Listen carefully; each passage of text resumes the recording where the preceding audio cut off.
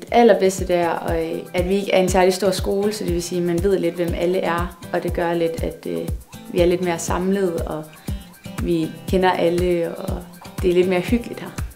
Jamen det er, at, øh, at skolen ikke er større. Altså man kommer tættere på hinanden og får et andet sammenhold med, med nogen, man måske normalt ikke ville snakke med, hvis man gik på en større skole.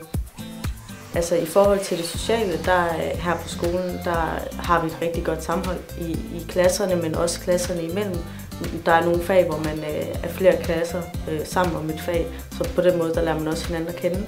Og lærerne, de kommer ret tæt ind på en, fordi at, at de har mulighed for det, fordi der at det ikke er en helt vildt stor skole.